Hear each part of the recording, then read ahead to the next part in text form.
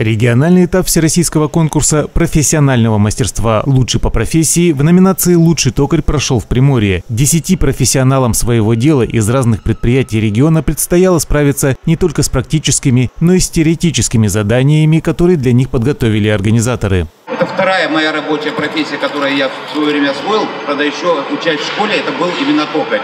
И мой отец сам токарь который проработал больше 30 лет на, на заводе «Прогресс». И я знаю, что сегодня среди участников есть, есть участники завода «Прогресс». Поэтому, коллеги, желаю всем успехов.